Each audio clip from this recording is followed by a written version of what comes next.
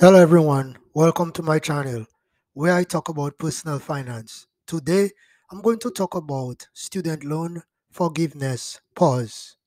Let's get into the video. With the announcement of the student loan forgiveness pause, I would recommend that if you have student loans and it's been affected by this, the best thing to do is to have a financial game plan. The first thing I would recommend doing is to get on a written budget where you keep track of all your monthly expenses. The next thing is to save up three to six months of your monthly salary in an account for in case of emergency. Basically, that will be your emergency fund. In the meanwhile, you are saving for the emergency fund.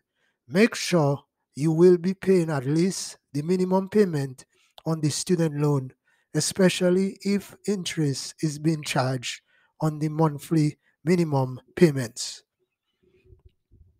More importantly, getting yourself on a written, budget will have a positive impact on your finance, whether or not the student loan forgiveness pause is lifted. If you want to learn how to invest your money, please check out my course on how to invest your money below the description of this video. Thanks for watching this video and do not forget to subscribe to my channel.